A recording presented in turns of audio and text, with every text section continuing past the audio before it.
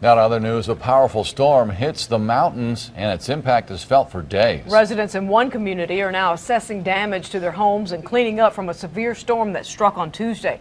News 13's Rex Hodge has more from one of the communities hit the hardest.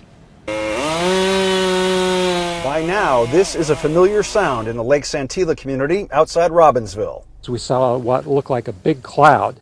But nothing compared to the severe thunderstorm that roared through around dinner time Tuesday night. And the neighbors came by the next day and with their chainsaws, and we all got out there and cleaned everything up.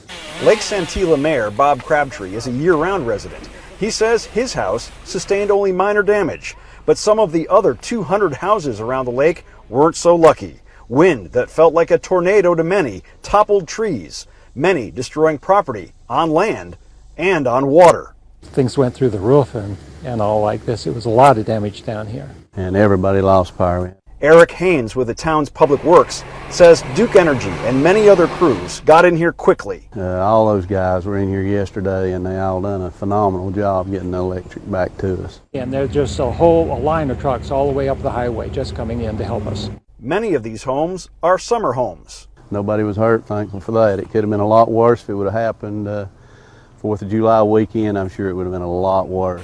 For now, it's a time to clean up and assess the damage for residents and the mayor says they'll look to the state for some financial help. Then we're going to assess what, how we're going to deal with all of the, uh, the stuff that's taken down and everything like that.